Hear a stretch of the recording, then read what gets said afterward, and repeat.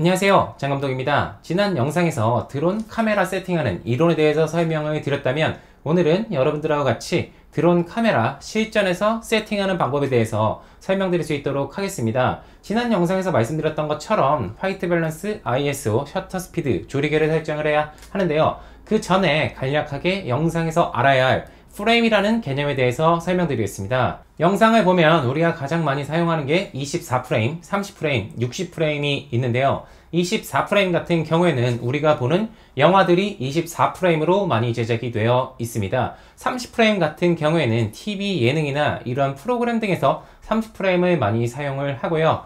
60프레임 같은 경우에는 가장 역동적인 영상을 사용을 할때 60프레임을 사용을 많이 합니다. 그럼 도대체 프레임이란 개념이 뭐냐라고 생각을 할 수가 있는데요. 프레임을 쉽게 설명을 드리면 우리가 어렸을 때 노트 공책에다가 만화를 그려놓고 이렇게 빠르게 하면서 이어보기를 하잖아요. 이렇게 해서 영상을 만들어지는 게 프레임의 기본 원리입니다. 프레임은 이것과 마찬가지로 24프레임이라는 것은 1초에 24장의 사진을 빠르게 넘겼다고 생각을 해주시면 되고요. 30프레임이라는 것은 1초에 30프레임을 빠르게 넘겼다고 생각을 해주시면 됩니다. 그리고 60프레임은 1초에 60장의 사진을 넘겼다고 생각을 해주시면 됩니다. 60프레임의 경우에는 1초에 60장의 사진으로 되어 있다 보니까 훨씬 더 부드러운 느낌이 나타날 수가 있습니다. 영상을 30프레임으로 만든다고 가정을 할 경우에 1초에 30장의 사진을 넘기면 되는데 60프레임의 경우에는 1초에 60장의 사진을 찍어 놨잖아요. 그러니까 50% 슬로우를 줘서 2초로 만들어도 30장씩 2초의 영상을 만들 수가 있어서 슬로우 모션 효과를 걸 수가 있습니다. 그러면 이제 본격적으로 촬영을 할 때 드론 세팅을 하는 방법에 대해서 알아볼 텐데요. 첫 번째로는 DJI 미니 3 프로하고 DJI 아바타 설정에 대해서 알려드리겠습니다. 어떻게 보면 센서 드론하고 FPV 드론이 왜 설정법이 똑같지 라고 하실 수가 있는데요. 카메라 세팅이기 때문입니다. 이 두 개의 드론 다 비행하는 특성이 다를 뿐 똑같은 카메라를 장착을 하고 있습니다. 그렇기 때문에 카메라 설정이 동일합니다. 그리고 다음으로 설명할 DJI Mavic 3 같은 경우에는 가변 조리개이기 때문에 약간의 설정이 다르다고 생각을 해주시면 됩니다. 자 그래서 먼저 DJI 아바타하고 DJI 미니 3 프로 카메라 설정에 대해서 알아보겠습니다. 화이트 밸런스 같은 경우에는 지난 1탄 영상에서 설명을 드렸기 때문에 화이트 밸런스에 대한 영상은 생략을 하고요. 실제 비행에서 우리가 낮에 날씨가 좋은 경우가 많기 때문에 ISO는 낮을수록 좋다고 말씀을 드렸습니다. 그럼 ISO를 100에다가 놓으시고요. 조리개 같은 경우에는 가변 조리개가 아닌 고정 조리개 형태이기 때문에 저희가 변경이 불가능합니다. 그렇기 때문에 고정 조리개는 기체마다 동일하게 세팅이 되어 있는 것으로 고정이 되어 있고요. 그러면 우리가 설정을 컨트롤할 수 있는 것은 셔터 스피드밖에 없습니다. 근데 1탄 영상을 보신 분들이라면 우리가 눈으로 보는 것과 같은 모션 블러는 프레임스 곱하기 2라고 설명을 드렸습니다. 그렇기 때문에 30프레임의 경우에는 60분의 1,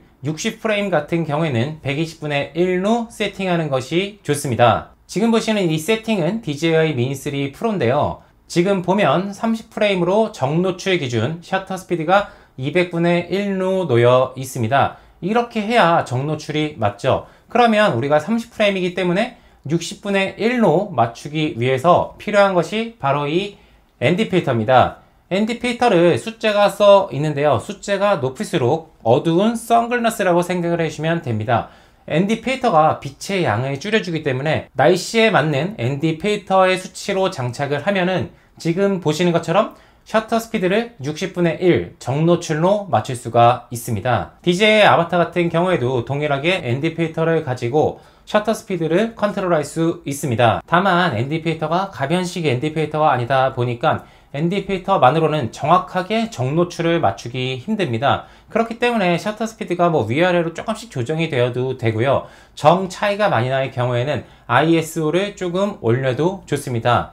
다만 DJI 미니 3 프로나 아바타 같은 경우에는 센서가 워낙 작다 보니까 아무래도 400 이상 그러니까 100에서 200 정도의 ISO만 설정을 하는 게 좋고요. 400 이상의 ISO를 설정하는 것은 권하지 않습니다. 많은 분들께서 ND 필터를 꼽고 자동으로 놓으면 되지 않냐라는 질문을 굉장히 많이 주셨는데요.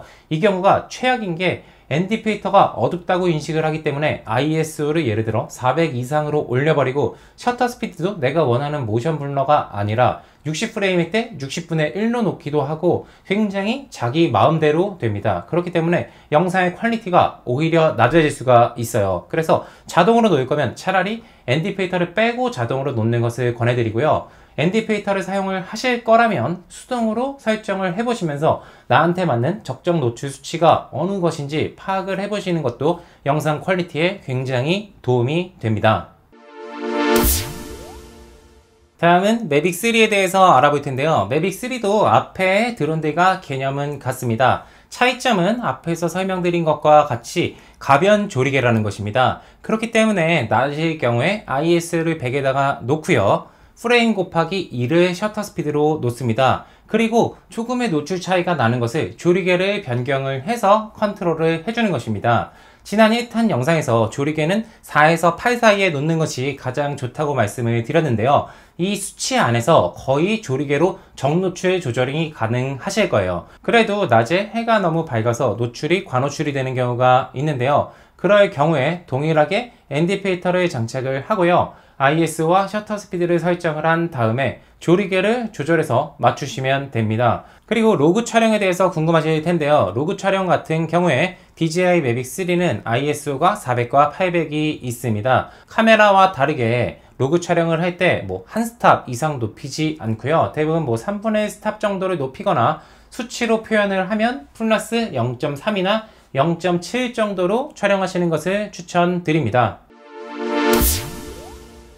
그러면 다음으로 사진에 대해서 알아볼 텐데요. 사진 촬영일 때 셔터 스피드는 앞에서 설명드렸던 설명, motion blur를 다 무시해 주시면 됩니다. 그 셔터 스피드로 촬영을 했다가는 사진이 굉장히 흔들릴 수가 있습니다. 그래서 일반적으로 사진 촬영을 할 때는 셔터 스피드를 120분의 1보다 더 빠르게 하는 것을 권장을 해드리고요.